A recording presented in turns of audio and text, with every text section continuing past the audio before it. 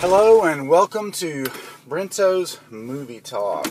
Movie Talk with Johnny Brento. Movie Talk with Johnny Brento. I believe that's what the title says. Anyway, this is my attempt to uh, kind of uh, capitalize on my commute time and start bringing some more vlog type content to Mutonville.com. Now, uh, today is Monday, April 22nd, and I just saw the uh, opening of uh, Oblivion 2013 on Friday, starring Tom Cruise, directed by Joseph Kosinski, who also directed Tron Legacy. And um, if I'm to believe his IMDb credit, he also directed The Black Hole.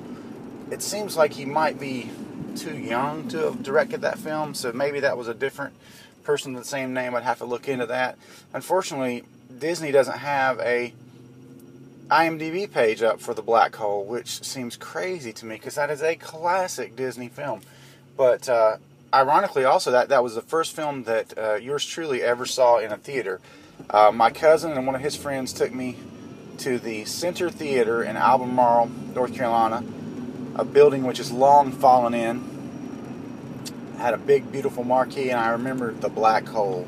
And I went in and at the time, I thought that was the most amazing thing I had ever seen, and it really sparked a lifelong love of movies.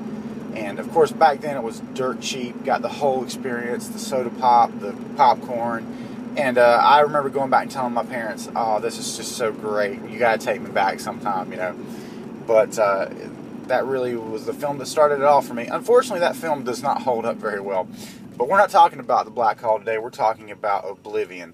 And Oblivion is a film that instantly, being a sci-fi fan, I instantly connected with. Um, Tom Cruise plays a um, plays Jack, a veteran who's assigned uh, to an outpost that's uh, there to sort of uh, maintain drones and machinery that's left behind to siphon off the last resources of a ruined Earth, primarily the water.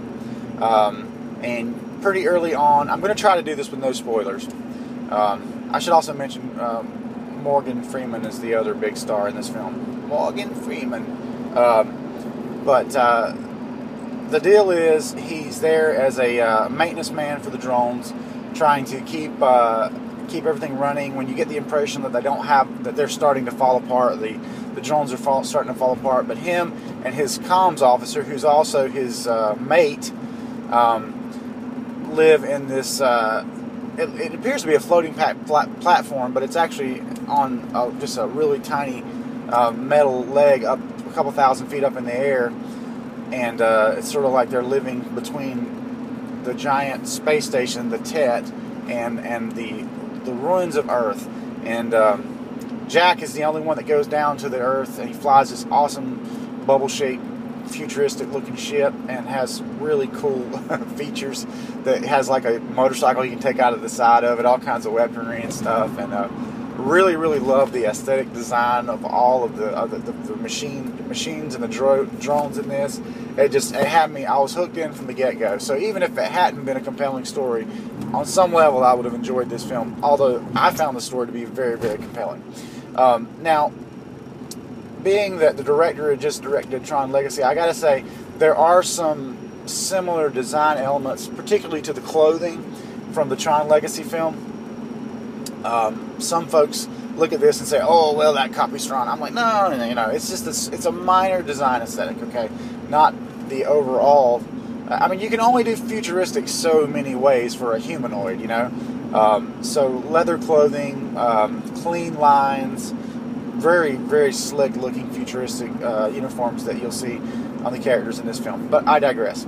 So Jack goes down to the planet, and of course, you know, being the guy that goes down and sees the Earth and what's left of the Earth, um, which really looks like a largely like a, a wasteland with like a, uh, the tops of you know giant skyscrapers still sticking up, but but you know the, the ash from the nuclear blast, which the humans used to sort of finish off the aliens. I should mention it was an alien attack that brought about the uh, the end of the Earth, uh, or the Earth as we know, knew it. And several times he says, "We won, but we won the war, but lost Earth," uh, meaning the Earth was rendered unlivable. And he's um, when he does his patrols, he's like um, he gets to the edge of his his sector and he gets a radiation warning. Don't go into this area.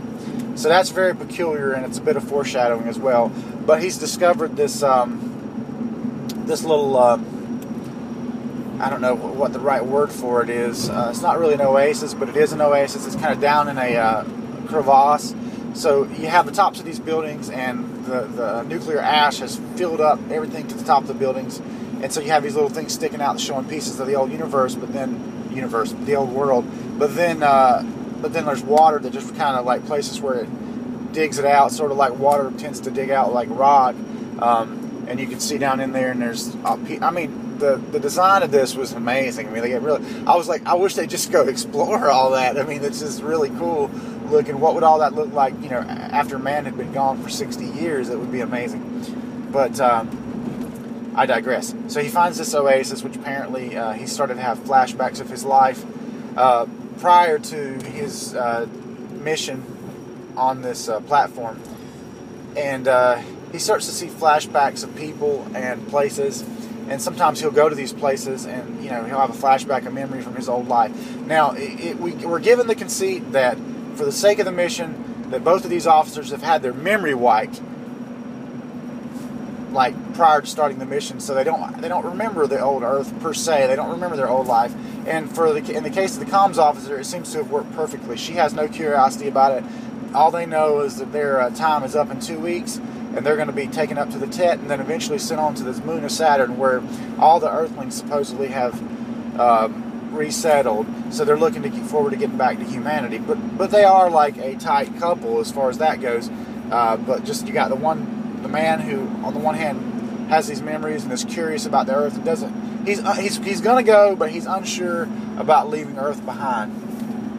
And um, from there, really, I, other than just to say that there's this this this mysterious uh, leftover components of the alien army we're led to believe uh, called the scavs or scavengers, and uh, we really only see that they're humanoid in shape. They have these stealth-like looking outfits on, and they don't sound like humans. Um, but we only see them in flashes, really, when he's shooting at them or whatnot. They're trying to trap him for some reason. They're not trying to kill him; they're trying to trap him, which he finds peculiar. And then as as the story goes on, he finds survivors, and the drones come and start killing off these uh, these pods of the survivors. And uh, you know, so obviously that that he wonders why that's happening because the drones supposedly are set to kill only the scavs, not humans. And of course, he has clearance because he's a tech, Tech 49. You know, and uh, they'll um, 42. Sorry, Tech Tech 42. No, or is it 49? I can't remember. One or the other. Tech 42 and um, they um, they leave him alone generally, and but he has to get between the drone and one of the victims, which he's able to save, which turns out to be the girl that he's been seeing in his flashback. So, uh, you know, the uh, intrigue builds.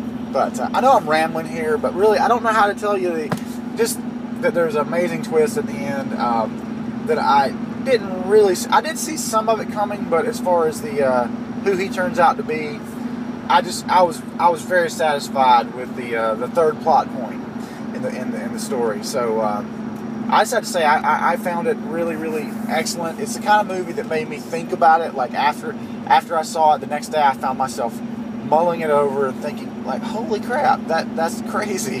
you know, that's wild. And I definitely felt the strong urge to go watch the film again. Um, whether or not I get a chance to do that, it will just come down to my schedule because I got a lot going on right at the moment and uh, preparing the band for a, a, performance in two weeks. That's taking up all my spare time. So I don't know if I'll be able to actually go see this, but uh, but I definitely want to. And uh, I think that's a pretty good sign because that, that means it was truly a solid film that hooked me in from the beginning and visually was exciting enough that I want a chance to watch it again. There, there, there's a amazing air-to-air battle that takes place in this thing that uh, I was just remarking the other day how much I, am bored by car chases because you know you know the capabilities of an automobile. Um, it's what are they going to do that could surprise you really, unless it's like just they break the rules of physics.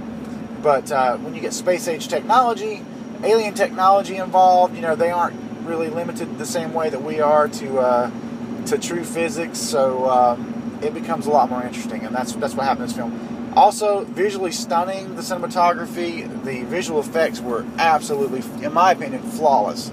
I, I never saw anything I didn't believe. So, uh, I would encourage you, if you are a sci-fi film, to make sure that you get to the theaters and see this film before it leaves theaters because it's excellent. It will definitely be going into the Johnny Brento DVD archive. Let me tell you.